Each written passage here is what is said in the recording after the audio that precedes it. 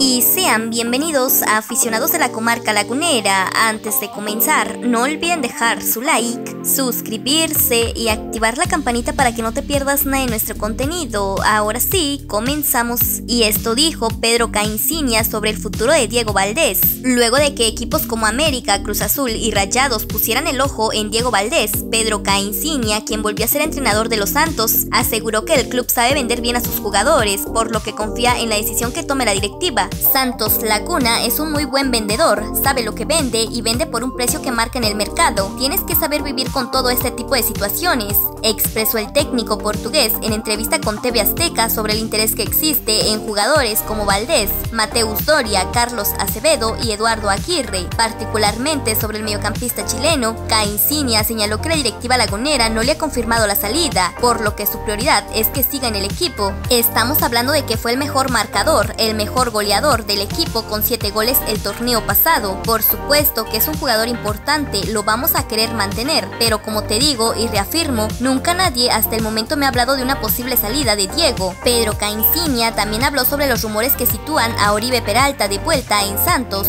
luego de su salida de Chivas tras dos años y medio en el conjunto rojiblanco, en donde no encontró regularidad y solo consiguió un gol en los cuatro torneos que jugó. Oribe es una gran persona, es un gran profesional y jugador, tiene un recorrido muy largo y por supuesto que tiene mucha jerarquía en el fútbol mexicano, de manera muy abierta, frontal y verdadera. No es un tema que hemos hablado, nunca me lo han puesto sobre la mesa, tiene que ser una decisión que sea de relación ganar-ganar. Hablo de la institución, de la plantilla y por supuesto del jugador, dijo.